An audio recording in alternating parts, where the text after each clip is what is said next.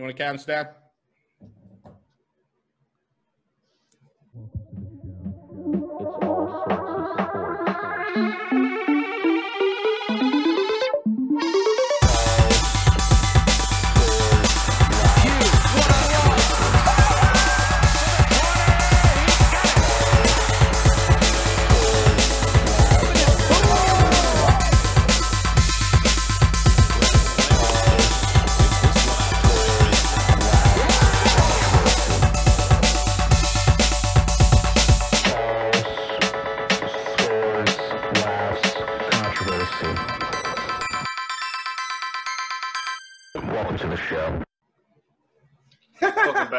Sorts of Sports, episode 26. Oh, it's 25. You just said it was 26. I'm 26. joking. I'm joking. Ah, I love you guys, but I hate you guys at the same time. we know. Okay, Feeling cool. used, As long as you know. but I Um, am missing you. so- we can call this the Le'Veon Bell episode Wow. because I he got. hate you. I love you. Shut up, man. All right, so Le'Veon Bell got cut from the Jets, and then a couple hours later, or a, day or so later, whatever, with the Chiefs. Yep. What? How about Ryan starts it off since he was Adam Gase's PR guy two episodes ago, talking about how Le'Veon was a locker room cancer and how he was this, that, and the Look. other, huh? Look, I, I think he's not going to get as many carries as everybody thinks he's going to get. Um, but like, as a goal line guy, He's going to be more just a goal line guy. yeah, no, I'm saying. But if you look at what they have, they have uh, Clyde Edwards, Helaire, Helaire. and then um, fuck, who was the other guy? Damian Oh, yeah, Williams. Damian Williams. Yeah. I mean, he, he's an upgrade over Damian Williams, but I mean, I, I think they're just good. He's going to split carries with them. So He's done I more wanna see him- than Helaire has. what do you mean? He's more proven than Helaire. Yeah, but he's he's a running back. Dime know. Huh? I'm just saying. I think he's going to end up splitting carries. I don't think He's gonna more than just a running back. They, but Clyde Edwards Helaire can catch out of the back too. I'm So just can saying, what the fuck? What you know who you're talking about? I haven't seen him play in two years, so no. Whose fault is that? It's your guy's fault. Whose? Gase. Look at all the people that after they leave him, they become amazing again. Tannehill I- got a hundred million or whatever the, the, fuck he got. coach in the NFL. I'm not. So why are you talking? Yeah, yeah, yeah, I are. haven't seen him play well in a long time. because he's with. I'm not Jets. saying he's not going to. I'm just saying he's not going to be their featured back. That's all I'm he saying. might as well be. He might be He, on a veteran minimum. I haven't seen him play. He's gonna. What is he? You don't like need to. five days before. You know what it is. Does he know their scheme? Like I don't. I don't know. He's a good running back. I just don't know if they're going to feature him. That's all. He's a great running back I haven't seen him play in so long. because he's with the Jets. and then he took a year off for his contract. And then he That signed with the the Jets. Jets. Uh-huh. I know because they gave him guaranteed money, which the Steelers don't do after certain like they Yeah. front loaded. Well, that's smart for the Steelers organization. Not so much for their players, but it is what it is. I'm excited to see him play. I mean, he's going to be on the Chiefs. They're going to win so much. So many wins. Uh, it, Like- that doesn't change much for me though. It- With them, What do you mean? the offense is already amazing. Yeah, So that's what I'm saying. so- I mean, he's going to get wins now. He doesn't. Oh. He could. He could ride the bench all year and get a Super Bowl ring. but Probably. he's not gonna ride the bench. I'm saying he could. Yeah, like I'm saying they're they're really good without him. Like Yeah, they're they are. Gonna be better. I agree. I, yeah, But I'm I'm saying they're gonna have a like a three or more like a two headed monster out of the yeah. out of the backfield, and they're Clyde Edwards Helaire is not as good on the goal line, like visually, as Agreed. Le'Veon Bell. So, I mean, and they're gonna have a bunch of goal line stands where it's either gonna be a touchdown to Kelce or Le'Veon Bell running it in, which sucks for me because I have Travis Kelce in most of my fantasy leagues. Tag me in, coach. Tag me in.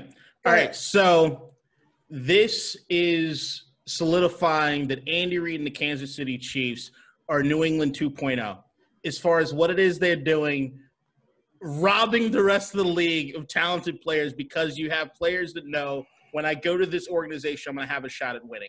Look, Le'Veon Bell, as far as what I saw when he did play for New York, showed me at least when I was looking at him that if it wasn't for the shitty schemes in which Adam Gase put in, he still has a lot of talent. Like, let's take a look at last year. Last year, everybody talks about how much they sucked in this, that, and the other. Le'Veon didn't do this, Le'Veon didn't do that.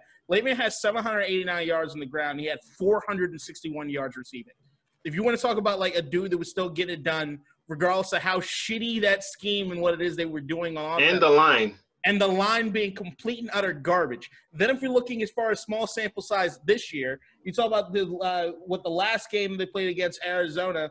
13 carries, 60 yards for 4.6 yards a carry. Then he had a reception. Then the other game where he only ran six times, 14 yards, so the Russian attack was not doing anything. They you you look at that and you see that he had two receptions for 32 yards. So as far as still being that dynamic guy out of the backfield, to me when it comes to Kansas City, yes, featured backs in the NFL do not happen anymore. You can name them probably on this hand. Uh, and when you're looking at them, it's featured back not in the sense of getting 30 carries. I think the only guy still doing that is Derrick Henry. Other than that, it's dudes that are be able to do everything. All you got to do is give them touches. The Alvin Kamaras, the Christian McCaffreys.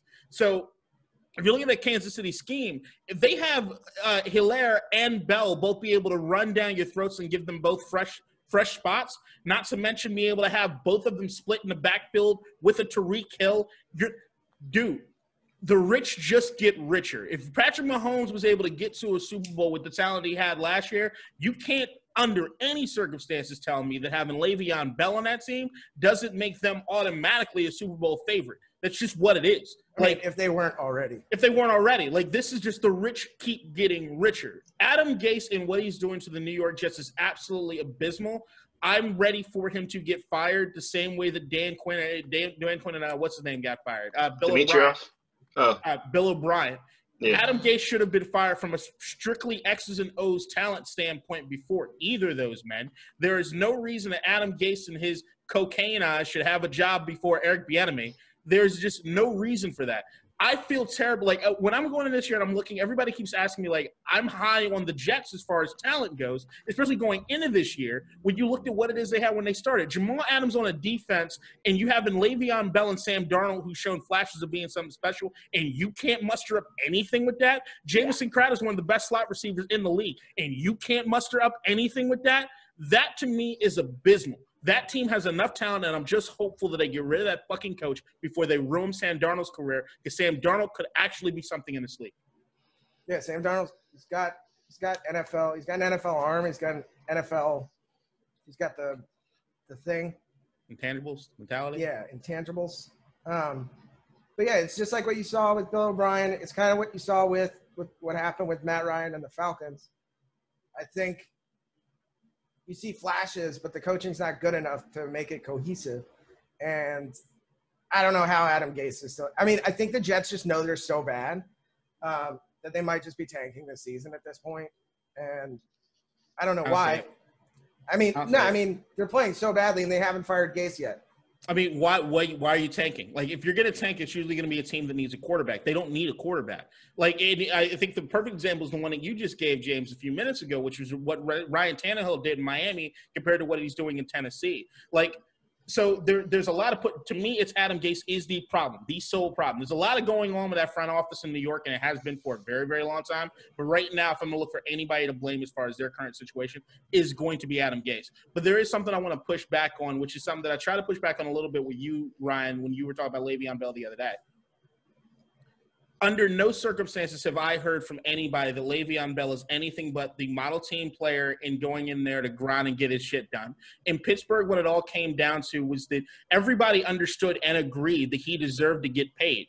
Like there wasn't anybody on the team that didn't say that. I think the only time you saw anything happening when the team started getting annoyed is when the reporters were in their face every day, all day. When's Le'Veon coming back? When's Le'Veon coming back? When's Le'Veon coming back? But I don't think that has anything to do with his character. It's not an Earl Thomas situation. It's not one of those things where you're looking at somebody who's a locker room cancer. You could just see the reaction of everybody, whether it be former teammates congratulating him for getting to Kansas City, or you see Patrick Mahomes just excited to have him. You don't necessarily get that when you have guys that are team cancers. And a I- legendary gift. and what I also know is that Andy, Andy Reid is the number one coach as far as knowing probably about team cancers, and there's nothing that he would do to try to create some sort of detriment to his team. So what he's done is he's taken people that have that aura because of what people in the media or some other people. So, so like a Tyrann Mathieu, who people used to talk about just because he has a nickname and he does shit on the field and he's outspoken about how he feels about shit. Doesn't make you a locker room cancer, just means you're a man. Like maybe you're not gonna beat to everybody's own fucking beat, but you're gonna do your own thing. But when it comes to doing what you need to do or being able to look across on that field and know this guy has my back and then I can hold this guy accountable the same way he's gonna hold me accountable. That's all I see from Le'Veon. He wanted to get paid like a top flight back because he was getting treated like a top like top flight back. And mm-hmm. if you see in the same way that Dak Prescott or any of these other guys get injured, especially from a running back position where they can't wait to replace your ass, get your fucking money. And if you can't get your fucking money, get a fucking Super Bowl. And it looks like Le'Veon's going to get a little bit of both because I think New York is still paying that ass, and now he gets Yeah, 14 million. And now he gets to go and win his championship. So kudos to Le'Veon. Everybody's talking about what he lost in that deal when it came to he should have just accepted the deal from Pittsburgh because he have seventy million dollars. He'd probably be already looking at getting on the bench, or he'd probably already be looking at probably getting hurt. Who knows? You got to look at the guaranteed cash there on that. Le'Veon, you won this in the long term, especially if you win your chip. All I said is I want to see him play. He mm-hmm. just didn't have an opportunity really with the setup and at the Jets. So Yeah, He but did. we already know what he's gonna do. But I'm saying he did play with the Jets. His numbers are there for the Jets. They're not running. He's not getting five or six yards of carry because it's not the Pittsburgh line and it's not that scheme. But he still was getting stuff done. If you were to tell me that you had a running back have over a thousand all-purpose yards for the New York Jets last year, I'd be kind of surprised. Just seeing how pedestrian a lot of what it is they were doing on offense was. Um, it's the it's the three TDs that I think I have the biggest issue with. But They weren't scoring at all. And that's Yeah. another thing is like him being the goal line back in Kansas City. It's gonna be him and Helaire literally just switching off. Andy Reid's gonna have somebody fresh in there for Patrick Mahomes every snap. And that's gonna be a beautiful fucking thing. I didn't. yeah, I but don't remember. the Did Chiefs he, can still did he be beat block? Did he block? Is he a blocking back? Did he block in He can block. He's an all around back. He's is he Clinton Portis level blocking? No, but he can block. No, they have Travis Kelce to block. But none of that shit matters. They can still be beat. We you Here's a- expect you expect you expect Kansas City to score every time they, they touch the ball on offense, right? The thing the, how you beat them is you run the ball and you take your shots downfield and you keep 15 on the sideline. But that, but that's the thing is that you you're you're simplifying it too much. Because at the end of the day, what you're telling me right now is the same scheme you use against every single quarterback that's worth a grain of salt in the NFL. Who wouldn't want to play good defense and take shots and to keep the uh, offense on the on the sideline? No, no, I'm saying like whether or not you time can. of time of possession. Yeah, That's And- that's. But Yeah, here's but the thing. you That's, you, that's you have a team with a good running not- back that can not- do it. But here's the thing: that is not special to Kansas City. You're, you're talking about is a scheme to win any football game ever. But Okay, if you're but if you're down by 21, and if you can do it, you can beat the Chiefs. yes. If But you, if you can now That's do you're my it, down by point. 17. hold on, if you can do it, you beat 100 percent of the teams. You're If you keep you, their offense on the sideline, you run the ball at a play. You That run doesn't ball mean you the time of automatically win. All right, let's take a look. If you want to run me back the win loss records of people that outscore their teams and also Did I say anything about scoring? I said keeping them off the field. I'm saying. take a look. All right, so let's take a look at time of possession. yeah, you can lose a game with good time of possession. What is the win loss record? What is the win loss record for teams that win the time of possession? I don't know. You could tell me because this is your part of the discussion. You're pushing back, so I'm pushing back because you're pushing something that just is general. I don't but know. it Let's works. see. No shit, it works. It's like, but that's okay, so why are you arguing it? No, but what I'm saying is that you're giving me you're giving me Chris Webber analyst level shit where it's Well, like if you it's score more points, you win the game. Like it's just that simple. Like I don't No. understand what you're saying. What I'm saying is, if you make a concerted effort and you have a good running back to focus on running the ball and keeping 15 off of the field, you have a shot. so in 2017, this is the stat that came up first. Mhm. Uh, seven of the top 10 teams in terms of average time of possession made the playoffs. Because it's not it's not rocket science. If you get a lead, you run the ball to keep the offense on the other side of the, on All right, the, on the now sideline. now you go deeper and tell me why teams haven't beat the Chiefs then. because they're not as good. And they're down by you can't you can't run the ball for Now, 15 if you were to minutes tell- if you're down by Wait, Ryan, what are you saying? said you can't run the ball for 15 minutes if you're down by 20 Now, how do you get down by 20? because they scored on you. And what did you do on offense? No, no. See, you're you're you're getting lost. If you I'm not getting tell- lost. no, if you were to tell you me didn't what- watch the game. if I you would've- watched the Chiefs. All right, so tell me what Oakland did on defense. I just defense. did. Tell me what Oakland did on defense mhm. to And I prevent told you Patrick last Mahomes. week.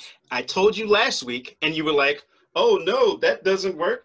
Tell I'm me like, again. I told Tell you what again. happened. Tell me again. We played spy. We rushed four the whole time. You don't blitz him. You keep This is one what I- defense line. Exactly. I This told makes you. more I, sense. I already said this. Yes, and I'm not arguing that point. What I'm saying for You this, did last week. Jesus Christ, James. What I'm saying to you right now is, Oh, if you're you were to tell me this as far as excellent, yeah, I hate having stupid arguments. Uh, if I'm having, It's not an argument. it's a stupid argument. Yeah, We're I'm not having an argument. I'm arguing with you. So right now, on defense, if you were to tell me you're supposed to rush forward, keep a spy, that is a specific scheme that you're saying works against Patrick Mahomes. Now, Yeah, what I would that's- thot- that's Mahomes. Ah! That's So my what I hope. Stop Shit. interrupting. What I Ah. thought you were going to say was that that is how you're going to continue to do the attack. What I was going to counter was that if that is how you're supposed to play defense against Patrick Mahomes, he just made it infinitely more. It's harder to do so if Helaire and Bell are in the backfield that can split out and he doesn't have to stay in the pocket long. He doesn't need two, three seconds to get rid of the ball. So I'm saying is that right now, what you've talked about on that No, defense, say that part again. What you talked about as far as Oakland being Mhm. able to rush 4 Mhm. be able to rush four, keep a spy, and do what they need to do on defense to try to put pressure on Mahomes. I'm saying if you have another release valve like Bell and like Helaire who can catch out of the backfield, if you split them out and you have Kelce right here, you've just eliminated. They have to do something else than rush four.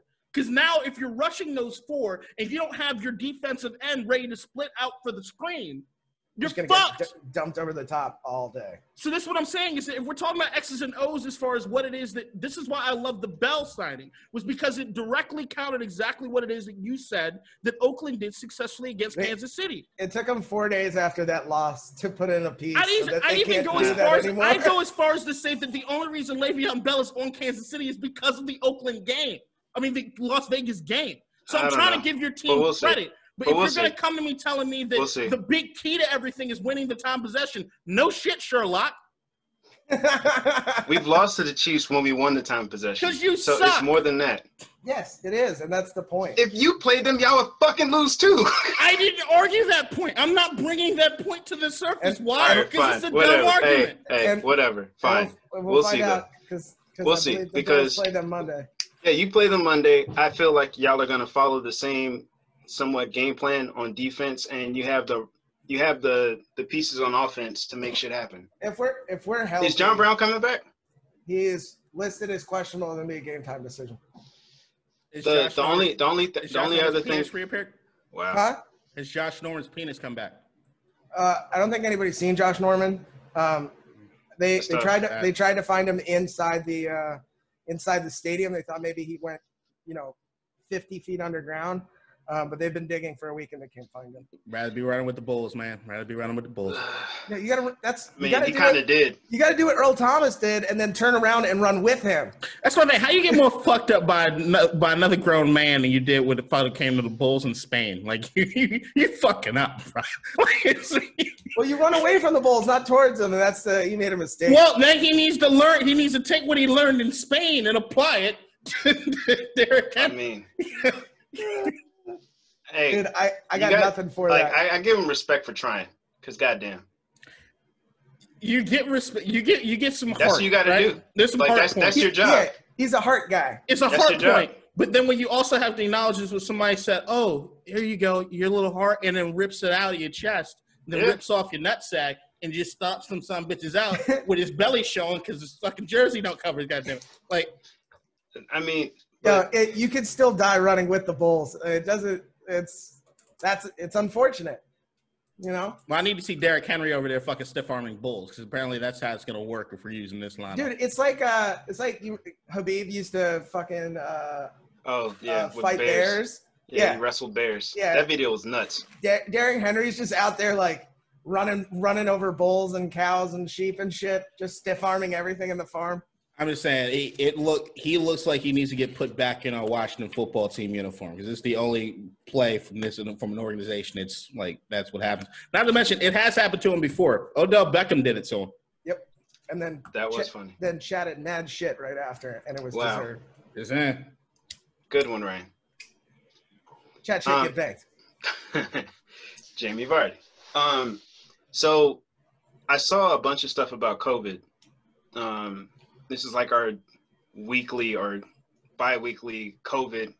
Yeah. update. So Nick Saban cleared coach. He's got three negative tests, three straight days. Yeah, So but I I'm talking about the NFL. I don't know if it was. Well, I mean that that was a pretty big deal. Um, I don't know if it. I haven't read to see whether or not it was a false positive initially, but I think they did all the right things. Um, it looks like they did. The, I'm sure if they didn't, they would have swept that shit under the rug anyway. So we'd never know. there, Um, there's there are a lot of teams. I think it was either four, four or five because it was Indianapolis, it was New England, Jacksonville, right? Jacksonville. I think Yeah. there's somebody else. and There's one or two Uh, other. Broncos running back Curtis, uh, running backs coach rather Curtis Modkins. Um, so they shut down that facility. Uh, Jacksonville Jags closed down their facility. Um, they're probably uh, it was Ryquell Armstead. Uh, Jacks Colts reopened their facility after everybody tested negative. I think New England reopened uh, today. Patriots canceled practice Yesterday. after center James Ferentz. Ferentz? Fer- We'll go with Ferentz. Sounds like a white name. Um, he's on the reserve COVID 19 list. Uh, dude, the poor. Well, wait. They were going to play the Broncos, right? Who? The Patriots? Yeah. Yeah. Yeah, they're playing. They're supposed to play tomorrow. And that's the thing is that the NFL is marching forward with it because they got neither of those teams have buys anymore. So like Right. there's not there's no room anymore. Right now, the NFL, I think what they're doing over the course of each week. Look, I ain't a conspiracy theorist. Sure enough, not a conspiracy theorist. What I will say though is that all the false positive tests. Well, we're looking at what just happened this last week or the last couple days with the teams that tested positive, all of us just had to do some soul searching or either googling to try to figure out, right? Mhm. compared to when it was like each individual case we could specify and start to blame everything. Tennessee is even a forgotten thing now. What far as happened to happened. that? Exactly, right? So I think that what you're going to end up seeing is that every week there's just going to be enough false positives that people just say, fuck it. Whoever plays, plays. Whoever doesn't, doesn't. And it's just going to be something that's just overwhelming in a direction in which they're just be like, we can't stop this thing and we're just going to soldier on through it. I Which think it is was with the. Yeah.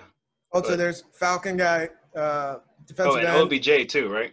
No, OBJ tested negative. He just had a flu, like a bug. But that's the thing. The false positive test is there's there's a waiting period from getting a P, PCR test, which is the one where they stick that goddamn Q-tip up your nose and dig around, compared to the one that like the White House was using, where it's the rapid test.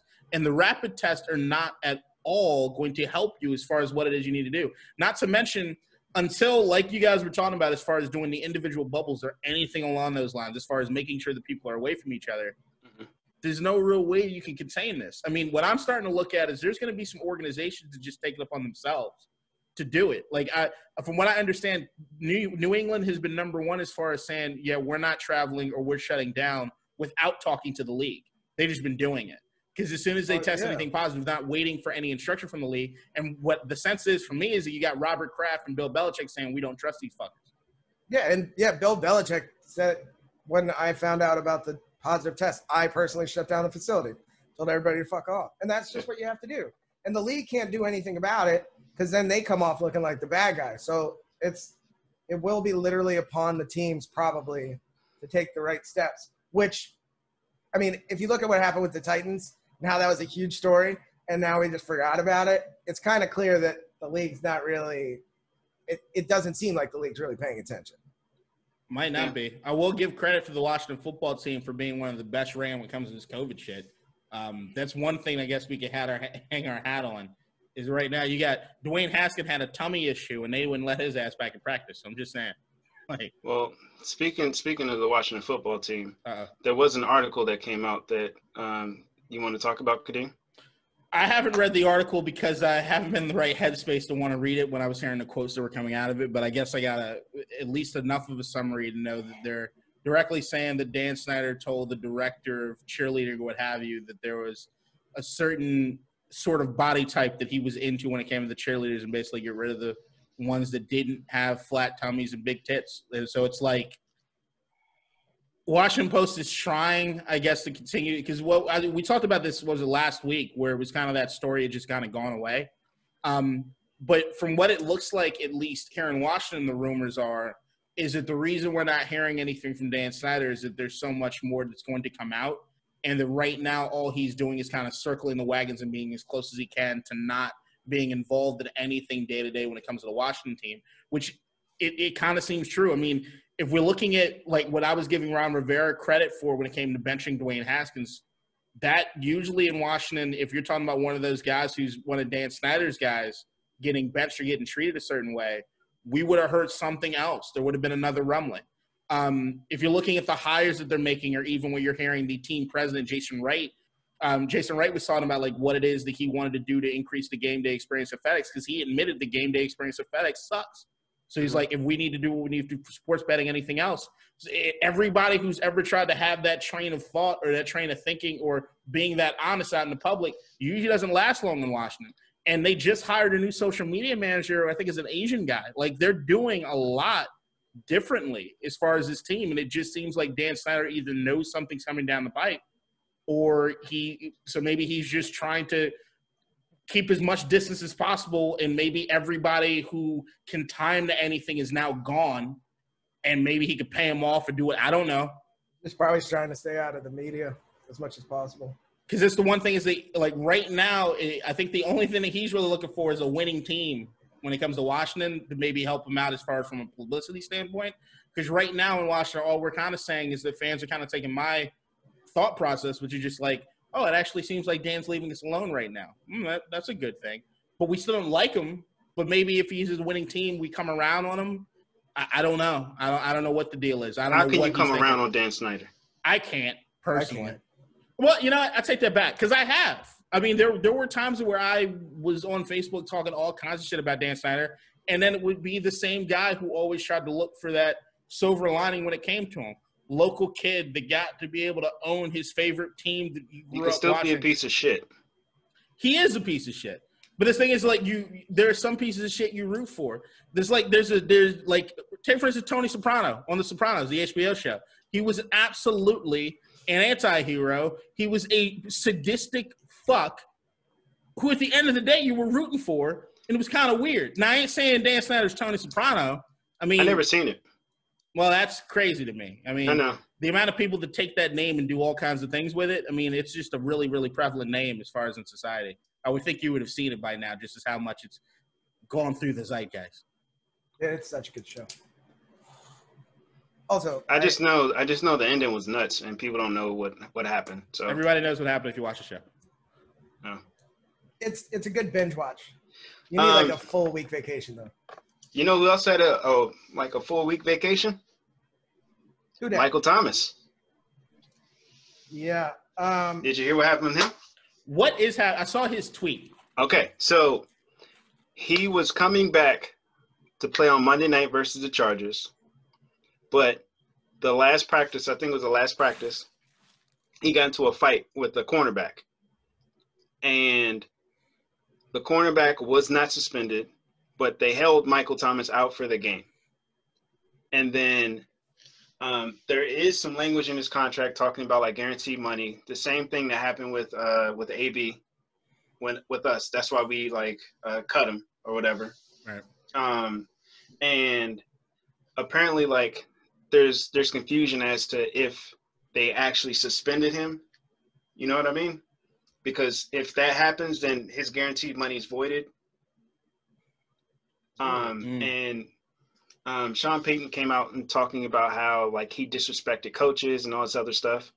Um, so I mean, he's just like another diva receiver. That's how I look at it. Really? That's all I hear coming out of it is he's like a diva type receiver where like he's yelling at coaches. Like they say that the thing that makes him great is also the same thing that um, hinders him, which is like the ego. Do you know who Michael Thomas reminds me of more than probably anybody else in the league ever in history of the league? Marvin Harrison. And there's a reason. Now, I'm not going Marvin Harrison, shoot him up, Marvin Harrison. I'm saying Marvin Harrison as far as you got a wide receiver that's in the league doing all these special things. And yet, when you ever have a list as far as the best wide receivers, this name just happens to be off of it. Even though he doesn't, because he doesn't make as much noise as the other guys. He doesn't do certain. And the fact is that, like, when you look at New Orleans and you look at that team, you got Drew Brees is the star. He's the guy, and that star is fading fucking fast as all get out. There's um, Taysom Hill is probably another guy who doesn't deserve it, but he gets a lot of he gets a lot of run. You got Alvin Kamara and you got Michael Thomas, which is this Michael Thomas guy. If you watch the X and O's, you watch football, is a top three receiver in the league, right? But he's never really in that category unless you're talking to a true football head. Anybody's still going to usually have or somebody same- plays fantasy football. or somebody plays fantasy football and knows how special he's been, right? But even with that, even with the fantasy football thing, Michael Thomas is usually that wide receiver that you get. You're kind of like, oh wow, that was good value, right? Because he doesn't just have the name recognition. Maybe it's just his name is too goddamn Well- boring. I don't know. No, it's um, I, there. There was another thing that I heard in regards to to this, right? Because if you look at it, um, I think on Monday night, um, Emmanuel Sanders had like 12 catches for however many yards, System right? receiver. That's kind of the stigma that they're trying to place on Michael Thomas now. that because we brought up when we were talking about uh, we I remember a few weeks ago we were talking about uh, Drew Brees and what it is and they had on an offense. And I think I made a point to say that they've always kind of had a number one wide receiver, but it's not necessarily a guy that was respected across league circles. So like. Marques Colston was a Yep. number one wide receiver, but once again his name was never big and flashy when it came to everything. But I think the sample size is going to be that there's some guys that go to New Orleans and when they leave New Orleans they're not the same thing. The number one case is probably Jimmy Graham who left uh, who left New Orleans and ended up being a shell of himself. Lord knows people can't. If you put a gun to most people's heads, they're not gonna be able to tell you where he plays. Was right it He's was a- it uh, on injuries? or- Bears. He's on Denver. w- Was now. it Bears or? Denver? Oh, Chicago rather. Chicago. See, Yeah, I was like, you uh, confused there. But was it injuries? No, I don't think Or with Jimmy, Jimmy? Graham. Jimmy what I'm saying? Graham, Didn't, was, didn't he get hurt? he he has gotten hurt, but um, Jimmy Graham. The main thing that would happen with him is when he went to Seattle was a completely different scheme. And Yeah, what they were it was a running team. it was a running team, and they were asking him to run block where it Right. was he was not that kind of guy. And then he goes to Green Bay, and everybody's like, "Oh shit, Jimmy Graham and Aaron Rodgers, And then he, yeah, forgettable." bad. So Yeah. Also, just But I- to circle back to I, I read this earlier. So Michael Thomas apparently never actually got suspended. Right. Got See? fined for conduct detrimental to the team, um, which doesn't void his guarantees. And I Right. think Sean Payton came out and was like, no, no, no, no, no. This this is fine. He's fine. He still gets his 30 million guaranteed or 20, 28 this or whatever is it is. strictly a case of them knowing they need Michael Thomas more than Michael Thomas needs them. Well, you saw how bad they were when he wasn't on the field. That's Even what I'm saying. Is even right? with all those other pieces, This like you is got Sean. the Kamara. This is Sean Payton saying, "Bad boy, I still love you." Like it's it's it's him doing what he can do to say, "Hey, you stepped out of line. I'm, I'm going to try to correct this, but you, still come on back. Yeah, but- there's number love, right?" Next, next, yeah, he's. I mean, and Michael Thomas tweeted that he was going to play the next game. Like, and I'm sure, dude. And honestly, like, if you're a wide receiver in practice, you and the cornerback are going to get into it at some point. It's just Always. it happens. It Yeah, happens. but you get hit by the same guy enough times, you're going to get back up and want to hit them. all right, a- ask yourself this question: Do you think that this is the first time that this has happened? Definitely not. And I'm sure, I'm sure, I'm sure it goes above So I and beyond think at this point they're just they're just they were just tired of it, and they're like, all right, we need to do something. yeah, I mean, I don't know. I, I hate the diva stigma when it comes to wide receivers, even though I do think there is a certain level of diva that comes with being a wide receiver. And I think that there's a certain level of diva you kind of Yeah. have to have in order to be a wide You receiver. do because if you have ran like 50 routes and you saw one target, I would be pissed. Like I have been pissed. I've been angry because I'm running like this and I'm open. Right. I worked all week for this and I'm open and you don't give me the ball, I'm pissed. Right. So I mean, you have Michael Thomas gets the ball. But, the- but the thing is, if you Yeah. but, if, but if you have that mentality as first being a wide receiver, then you have a forgettable name. Nobody treats you with respect, and they think you're just a system receiver. Well, Like, he there just needs might- to talk more because his voice that is might be the different. thing. But see, that's His voice the, is different. I haven't. I've never heard Michael Thomas talk. What? I've never heard Michael Thomas talk. It is not what you think. It- Like it- whatever you think it is, it's not that. Also, Once You again, remember like my- you remember like Evan Turner? yeah, forgettable. No, no, you remember Evan Turner from in basketball, right? yeah, yeah, Do you remember his voice? maybe I don't know. It doesn't ring a bell, so probably not. Wow. All right, So- I'll show you. I'll show you after. Well, But then, once it's again, different. look, once again, you saw about a dude that acts some sort of way. You hear a voice, and then you think something else. Once again, the- the Marvin Harrison. You Yeah. thought he was this mild manner guy, and yet he shoots people.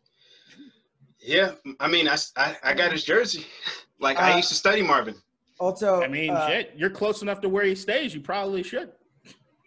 Alvin Kamara and Michael Thomas have the best uh, mouth guards in the league in that they're covered in diamonds and they're cool as shit. Yeah. Every time they score, or just when they're running, they're just smiling and it's all glittering. That shit is cool. If I was, Yeah. if I, at some point, I think I'm gonna get a grill, just the bottom one. Yeah. Well, you heard it here first. Drew Brees is done, and Michael Thomas is get the fuck out of uh, New Orleans. Probably.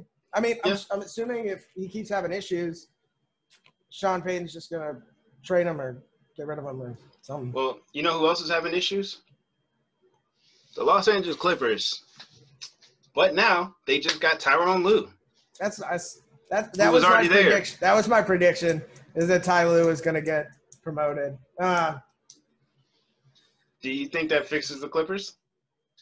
I think. All right, Oh, here's Lord. the thing. Oh, Here's Lord. the thing. Oh Lord. Oh Lord. Oh, you skied it, you bitch.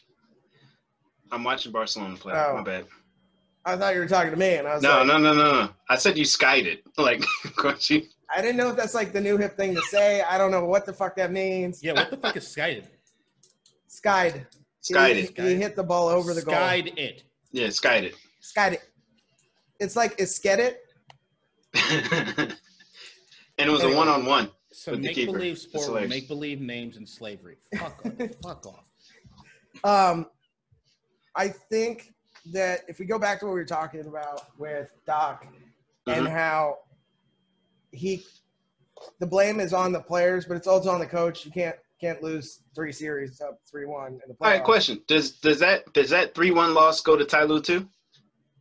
No, he's not the head coach. Okay. Just asking. Shit, shit goes shit. It goes up. No, shit comes down. But in this case, it goes up because you can't fire all the players. I think they probably talked to. Wait, does the lot does the three one loss go to the players too? Yeah, but you can't fire all the players, which is the point that no, we no, made no, no, time. no, no. I'm saying like when you think of like we brought up the stat of Doc No, Rivers but it was like it was losing different. three It was, one. it was different teams though. Yeah, I know He that. did, he did it with he did it with different players. Like I, I know I know that team, part. Look, I'm thing. not I'm not I'm not even like debating that part. I'm saying you know how we put that on Doc Rivers saying that he lost again like down I mean up three one. Next right? year, when So- Ty Lue is head coach in the playoff series, if they're up whatever, they're going to look at Kawhi and Paul George as being this is the same team that blew a three-one lead. Like this is Yeah. going to be Yeah, this yeah. is on them. Yeah, But but, I'm saying is it is it do do they attribute that like does Ty Lue get any of that rubbing off on him? No, Okay, that's all I was just asking. But it's not a show. I think I think they probably went to uh, Kawhi uh, and were like, "Hey, what what do we need to do? What do we need to shake up here?" And they went to Ty Lue and they're like, "You're you're the next guy in line," and probably because they can, Ty Lue can bring other people in. I mean, he's been a good head uh, an, a good head coach in the past, um, and he knows the system. And obviously, he's a Clippers guy. I don't know if Doc, after what happened, was ever going to be able to be that guy because nobody would let him live down that that up three one loss. Um, I think Doc's going to do really well in Philly, and I think the Clippers still need one more guy. I mean, it's not it's not going to be just Ty Lue. They have to bring in another piece. I don't think anybody can dispute that. Maybe Ty I Lue's just thought the guy. to Chauncey Billups is going. They need to bring in another piece, You talking about a player or a coach? a player. Oh, okay. I thought you They, meant coach. they need they need their Jimmy Butler, and they just don't have it. And he's out there somewhere. I don't know if they're gonna, you know, trade for him. They just, as they're constructed, they'll they'll still not win a championship at this point, unless Ty Lue can turn one of them into uh, a, leader as opposed to just a superstar. right. Which I mean, it's one of those things where we gotta kind of wait and see. But if he can't do I mean, that, if they they're not gonna Paul- win. Yeah, I mean, if Tyler's the guy to bring in another player who's a leader and and give them a better opportunity to win, then great. If not, Ty Lue's just he got slotted in because he knew the system. He was already there. And like, who else could you possibly hire? Van Gundy? Like, I think not- that it's I not think a that's terrible choice. I think the Ty Lue thing speaks to look. Paul George, Kawhi Leonard don't go to LA unless they approve the head coach they already got in stock. Mhm. Doc. Doc Rivers doesn't get fired from LA without them talking to Kawhi and Paul George. He's Yeah. out. I don't think Kawhi is going to want some big level rah rah rah guys we've described them to come in there and try to run the show. I don't think Kawhi. I don't. I don't think if you're a superstar, you necessarily want that. You don't want somebody that's going to whip you. You don't want a Tom Coughlin or a Gregg Popovich type coming in there and like doing certain things. You want to have your level of freedom, right? Now you also want to be able to win. I don't necessarily know if I trust the Ty Lue deal. Like I've said that I think that what gets LA off to to reach their full potential is somebody, whether it be another player or a coach, that challenges these guys, right? Mhm. Um, so if I'm Ty Lue, if I'm looking at the Ty Lue thing, like Ty Lue has been more of a rah rah rah guy than Doc Rivers is, but his championship as a coach is not his. Um, it, it's LeBron's, and beyond that, um, beyond that, unless you're bringing a Chris Paul or something in there, Ty Lue's not going to stand up or stand down Kawhi Leonard and Paul George. It's just not going to happen. So, I mean, you might have a situation where they looked across the gamut of coaches that would have maybe wanted the job, and Kawhi and them were like, nah, man, I'm not going to do it. Like, we understand what you're doing as far as getting rid of Doc. Let's run it back. Fuck it. Or maybe it's just indecision on fucking Kawhi's part. Because, I mean, at the end of the day, he seems like somebody who doesn't necessarily is always completely convicted in what it is he's thinking about doing. That's the free agency deal. So, like, I, I don't know. I, I don't think at all that this is enough. Um, I, I think that they need somebody that's going to challenge them. And unless Ty Lue's going to be up in their faces, challenging them to do better, they're going to need another piece. Whether that's Chris Paul or something else, I don't know yet. But this isn't enough. I don't think you could just run it back with the mentality these guys have had with an inferior coach. It, it's not going to work yeah. that way. I mean, Ty Lue's not. Ty Lue is not as good of a coach as Doc Rivers is. Doc Rivers just couldn't stay there. That's all that is. Fair enough. All right. I mean, if they don't if they don't pick up somebody else, I don't think they're gonna they're not gonna be a championship team next year again. So All right. So I have a question. Um, I guess I can make this like a weekly thing. So does anybody here want to change their picks? I remember what my picks were. let's roll through. 'em. I don't remember either, but I don't have it in my notes. But it's okay. We'll say that. It could be a weekly thing if you had your notes in front of you. I'm going to bring this segment back. You know, I think I've been thinking about it being a weekly thing. I'm not prepared at all for it to be a weekly thing, but I, you know, it was a good thought. But Yeah. I'm going to have the thought live on the podcast. It's going to go out and It wasn't. It wasn't. It wasn't on my notes. Oh my god! Come on, guys. Fuck. Come on! Come on! Come on! Come on! I'm watching the uh, Yeah. Louisville Notre Dame game, which is much closer than it should be, considering Notre Dame is the fourth ranked team in the country. Um, yeah, but I mean, if you uh, were to be prepared, I would still say we would go through them all, and I'd stand by because I'm a man of conviction. There we go. If I said it, it's what I said. All right. I That's was what I have to actually going to take the exact opposite realm, and anything I was thinking about, I was going to change this week. Yeah, because last week, Prepared. Yeah, I thought last, this was going to be a recurring bit, so like I was prepared to maybe change a few picks, but I guess it's just not in the cards. isn't it that like every pick that you were waffling on last week went the Went other the way? other way. wait, wait, I, but I still had the least amount of right picks last week. Anyway, we'll see if we even get all of our games this week. That should be interesting. I think I got it. All I know is my fantasy team. I got it. Got the bet. I found it. Okay. think. Uh, Kadeem, who y'all play this week? The Giants. Okay, yeah, I got it. All right, so first one, Texans Titans. I am prepared, hoes. Oh, yeah. we gave you enough Yeah, we're, we're the host. We're just we had to fill we had to fill all that time while you're flipping through a fucking book. Hey, look, Some it's all goddamn practice. 60-year-old It's all high school practice. girl It's looking all for practice. homework. It's all practice. It's okay. Oh, I forgot my homework at I think I'm home. homework. I Oh was no, here it looking through is. your fucking trapper keeper and shit. Just trying to figure shit out. All right, what was the Texas first one? Titans. Mom think- just doesn't understand me, guys. Sorry, Did I Texas go- Titans. Did I go Texans? Yeah. I'll stand by that. All right. Uh, I went Titans, didn't I? Yeah. Yeah, I'll stick with that one. I'm not waffling. All right. Uh, Ravens Eagles. Ravens. Ravens. All right. Um, damn it, Barca just lost. Barca Congrats. lost 1-0. Uh, Real Madrid lost 1-0 today too. Yeah, I saw that. But so it is what it is. Um, we all went Ravens. So Yeah. uh, Falcons Vikings. I said I went Falcons, right? Yep. I forget what I said on that one. All right. Who would you go for now if you had to pick? Dalvin Cook's out, so Atlanta. Dalvin Cook is out.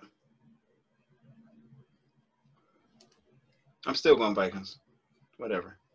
Uh, Brown got Steelers. Madison. I like Madison. Brown Steelers. I went Brown. Steelers. I'm, I'm riding sticking the, with it. riding the Brown train. I don't think the. Steelers lose to Cleveland this year. Uh, Bengals Colts. Did I go Bengals? Nope. I went Colts. Smart. Yep. I was like, I, I, I went Joe Burrow last week. I can't do it two weeks in a row. I don't know who I picked on that one. I would go. You picked the Bengals. Yeah, that's what I was leaning towards. Yeah, I think Joe Burrow bounces back after a rough game. I mean, he's good. He looks. He's got the. He's got the stuff. Okay. But Lions Jags. I said Jags, right? Yep. And the Jags there too. Okay. I got the Lions. Um, Bears Panthers. Bears. Yep. McCaffrey's back though. By the way. Did I go Panthers? That is Yeah. one I was waffling on. So what you gonna do? I don't feel as wa- I don't feel as heavy on the waffle. It's more like a pancake. I a knew that was coming. You got a crepe? Yeah, it's more crepe. Very I thin. it. Might even be rolled. Yeah. All Little, right. little little Nutella. Giants whiffed. Huh? Giants whiffed. I went whiffed. I'm sure Whiffed. of that. Okay. Kyle Uh, Allen, the savior. Broncos Pats. If it happens, Pats. Pat. So didn't they didn't they just cut Blake Bortles shit? Yeah, Blake Bortles got released. Oh damn. Tough. Bad move. Bad move. Uh, Jets Dolphins. Dolphins Yep. every day. Well, We the all picked the Dolphins. So you stand with that, Kadeem? yeah, fuck the Jets. They pissing me off. All right. Uh, Packers Bucks. Pack. Yep. I went Bucks, right? Yep. Standing by that. Tom Brady. Alright. Rams Niners. I The went Rams. Rams. We all did. Okay. Uh, Chiefs Bills. Chiefs. Buffalo. Okay. Fuck the Chiefs. I'm going with the Bills. Uh, Cardinals Cowboys. Yo, both going Bills. Yeah. I hate the Chiefs. Did I'm I go- rooting against them every week. Did I did I take the Cowboys? I did, didn't I? Yep. Who's playing? The Cardinals. Yeah, give me the Cardinals. I don't. Andy Dalton. Even though I think Andy Dalton's gonna have a good game, I think this is the resurgence of Andy Dalton. I'd like it. Not really, but I mean, I'd like it just to create a quarterback controversy in Dallas. I root for chaos. I'm sticking by my Cowboys pick. All right. It's like this controversial joke I used to say. I probably shouldn't say it right now, but I say it anyway. This is not what I think now, but it used to be something I said like ten years ago when I was really just trying to say anything for attention. Anytime the uh, the Eagles and the Cowboys played each other, and everybody would ask me who am I rooting for, I used to say terrorism. That's pretty good.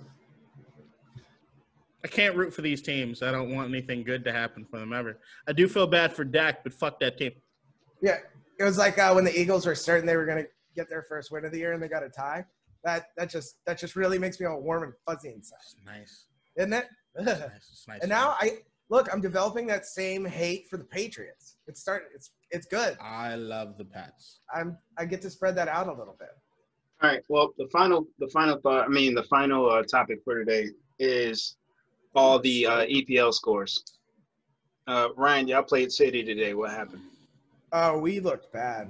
It was just It was Every one time- zero though. every time we come off international break, and I think you can see this around the league, there's so, a lot of ties, red cards, just like sloppy play. It's because they just played like five games in the last two weeks. Like they're tired. Everybody looked tired. And because we were tired, I mean, we played, our defending was good, but just there Because was you no, only gave up one goal though. yeah, there was no speed. There's no passion. There was no speed. Our, our midfield looked like they were fucking walking in molasses. It was just a bad game. We'll bounce back. I'm not. I'm not worried on it. And Thomas Part. Oh, what a grab! Thomas Partey got his uh, or Partey uh, got his got his uh, Premier League debut today. So How did he look? slow. But like, I'm glad to see him, you know, on the field with us. He, uh, it was just bad. It was it was boring to watch. So that's how you know drew with uh who? Everton. And it was Richarlison got a red card in the 90th minute. I saw. And there And was a then- bullshit offsides, and Van Dijk's ACL went snap, and he's out for the next eight months. What? Oh, you didn't see that? Yeah, Virgil Van Dijk uh, for Liverpool towards ACL today. Uh, at least those are the reports, and he'll be out for about eight months. Damn, that's tough. He is the best defender in all of the land. That's tough. Yep. Well, heal up, Virgil. Yeah, man. He'll In that pass. game I'm playing, I'm I'm play for Verona now. You know the um the the the BitLife game I was talking about last week. Yeah. I played Fair- for Verona. Fair Verona. That's uh, two teenagers died there. They were in love. Nobody. Yeah, it's Romeo and Juliet. Yeah. Uh, no, I got 150 euro in the bank, and I'm playing for Verona. I'm liking this. 150 euro. Just 150 like million euro. oh, I was about to say. So you got 174 American. Yeah, it's bit like so. Like I went through the entire life progression. Like this guy's name is Zion Bishop. His dad was an NBA great for a few years, and then he's I think he has dementia now, and I'm playing as the son. Nice. He moved to Monaco so that when he dies, there's no estate tax. That's tough. That's pretty great though. You could also. I say in that's tough. And then Ryan's, that's pretty great. no, I mean you're you got to be forward thinking. Everybody dies. You just gotta, you know. Yeah, in this game, I always emigrate to Monaco when I'm old. How many lives have you had? So many. There's one family legacy that's like a thousand years old. Like I've lived all of their lives in this family's generation. Like the accumulated wealth was something like I think it was, I think I tapped out at 900 billion. Then before the last guy, uh, before I could transfer to his son, I had him join the Marines and he got exploded with a landmine. So the entire family legacy came crashing to a halt. I was like, God damn it. And I refuse to pay money for the games on my Apple, so I'm like, I'm not, I'm not reverting. This is just what happened. So I'm trying to build it back up. All right. Well, uh, final thoughts. Uh, I had one. Skip me. Come back to me. I forget what it was. Go ahead, Kadeem. As I wind down on my quarantine um, after going out to a bar last Friday, uh, still waiting for test results. Still haven't come in yet. Um, even though I took the test a few days ago, they did tell me there was going to be delay. But I'm actually coming up on the time where it's 14 days since my exposure, so I'm able to go be back home with my family soon anyway. Um, I tell everybody that uh, COVID fatigue is very real. I understand, like I've said in all these episodes, that you're going to want to get back to normal to some degree, but you just got to really, really, really try hard to think about people outside of you and to make sure that you're not putting other people at risk. And it sucks. Um, trust me, you get stuck inside the same place with somebody that you thought you loved. I mean, you do love. It it gets a little taxing after a period of time. I'm sure James can attest. But um, it's just a matter of like you got to do what you need to do to make sure that you're doing your best foot forward for everybody else, and um, do what you can to quarantine where you need to, so you can go out there and vote if you haven't voted already, because we need to get rid of this administration. We we really do. Get out there and vote. Wouldn't be my final thought without saying fuck Donald Trump in this current administration. Nice. I remember what I was gonna say. Uh, as I'm watching the uh, baseball playoffs, um, and I was very hopeful that the Houston Astros would get swept. Uh, they were down three games to nothing. Uh, they are now tied three games to three. I hate the Astros because they're cheating bastards, and this is proof that they didn't have to cheat. They're a good squad. Yeah. But I need Tampa Bay to beat them, and I need Atlanta to not be losing right now. 3 0. Dodgers, I Yeah, fucking hate the Dodgers too. same. If it's if it's Dodgers and Houston, although there would be a lot of balls thrown in and around the heads of the Houston players, so maybe I do want that Uh, we'll come. We'll revisit this next week. Just know the Nats are coming back, baby. This year didn't count. It doesn't. You count. guys, no. You, I don't know. First of all, if we want to talk about the Nats, you guys made terrible roster moves, yeah, and people got injured, and then it turns out that you're not really that good of a team. Trust me, as being a Mets fan, I know This it's year not doesn't good- count. You guys are historically bad. This year doesn't count. Historically terrible. We don't care about this year. This year doesn't count. okay. It's still in the record books. I don't have any final thoughts. So is Barry Bonds' home runs. Doesn't mean it means Yeah. anything. And It does. statistically, Barry Bonds is still the best player, all-around player ever to play the game. Yeah. I mean, Rickey Henderson diddled more kids than he had home runs. And um, Did he actually do anything like that? Or are you just like putting like child molestation on somebody like for no reason? No, I'm basing it off the anecdote you told me about how you got your hat. Oh yeah. What? I ran the bases with Rickey Henderson and then Yeah, you got to Wow. first base, second Wow. base, third base. Wow. Right on. wow. That's good. That's a good one. Jesus Christ. That's a good one. That literally has been like a four month joke. Yeah. This is almost as bad as Mauricio's shit.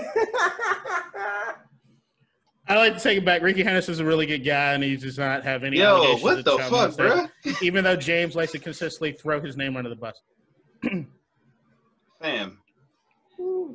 He did some charity shit for me, like as a kid, and then you talk about wow, that's crazy. Is that what you call it? He boosts your self-esteem that much? Charity? It was a charity case. Oh No, it was chastity. Ch- oh, chastity case. All right, guys. We're gonna work on some cars. Terrible. You Death guys are Star legit go terrible. boom. Emperor Papa Davis out, bitch. Boom.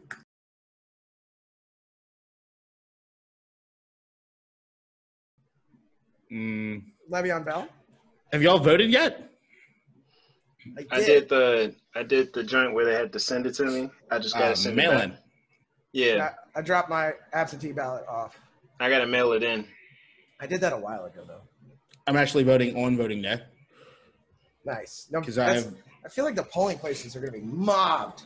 Yeah, unless you vote in a primarily white area that's well-to-do and vote for Trump, then you're straight. Like I will. That's fair. Then there How are no lines. straight? Why wouldn't There there, are be no lines because there are Why not? never any lines there because they they actually put funding towards letting those people vote compared to what you Dude. see in those. Okay, I see where you were going. I was like, I was trying to figure it out. I Dude, was the like, what do you line- mean? But The line for the place that this I went to is a good cold was open. it was so the the door for the station is like on the opposite side so you can't see it from the street and it was winding down all the way to the front of the building it had to have been like a thousand people and they were like it's a three hour wait and i was like can i get one of them where i just write it and then i drop it in the box instead of going Mhm. inside Yeah. they're like Which is- sure which is what you're seeing all across the country. You got lines in Georgia that are ranging like 12, 13 hours. Some people are waiting in line to go vote. Then you got places in like Texas where uh, you got the governor doing everything in his power to shut down voting uh, polling places, and he also tried to get it so that the drop-off ballot spots were like one per county. Something stupid. yeah and one county had like nine million people in it or something I, I read that which is all it's just voter suppression it's all it's all voter suppression so it's like i'm fortunate enough that i still can vote in an area that the money is going into and even though i don't know if the precinct that i vote for is going to go biden compared to trump at least you know they're allowing those people to have their civic duty as far as voting which it should be a national fucking holiday but i digress. Mhm. Well, I, agree. think I feel like going forward, if this if this works, where you have like the full month to vote, and they're they have these stations open and people know about them. I mean, they, if they're not going to make it a national holiday, just make elections like this. Why not both? Like to me, is like we we're just getting past a Monday where we celebrated Christopher Columbus, who's a genocidal, homicidal maniac. I didn't we- celebrate that shit. I had to work. Well, I'm saying if you look on went to any work. If you look on any calendar, it still exists. So I'm saying that it's still a federal holiday. Banks were closed. Didn't we? So- didn't we change it to Indigenous Peoples Day? That's just It with some both. people. That, that's there are some states that have classified Columbus Day as Indigenous Peoples Day. Um, there's some people that don't think it's enough. There's some people that don't think that Indigenous Peoples Day on the same day that you had anything to do with Christopher Columbus is even respectful compared to like maybe having another holiday completely for Indigenous people, and then maybe instead of Columbus Day, it's fuck Columbus Day, or get rid of the holiday as a whole since it's so close to election day and just make that a fucking national holiday. Like I just there there there's so much that's just stupid in the sense of what it is we celebrate and cherish in this country compared to allowing people the right to fucking vote, which is they'll fight over the right to wear a mask in Walmart, but they won't fight for people to have be able to have their voice. Well, I, I feel like a lot of people don't understand voter suppression unless they see it. Like, Which is- people can talk about it, but then they're like, "Well, I got to vote."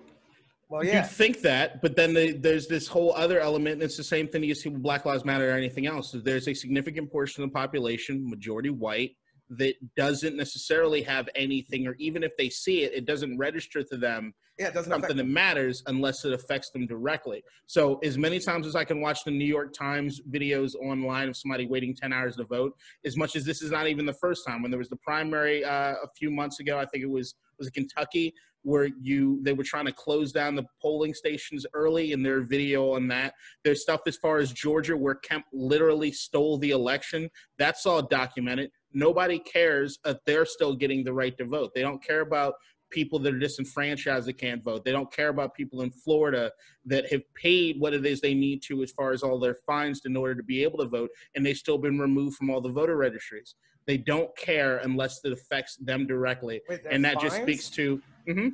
There are fines in a lot of places where if you haven't paid up, for instance, if you've broken a crime, you had parking tickets, what have you, or if you went to jail and you still have fines that you still have to pay back, you're not allowed to vote until you do that.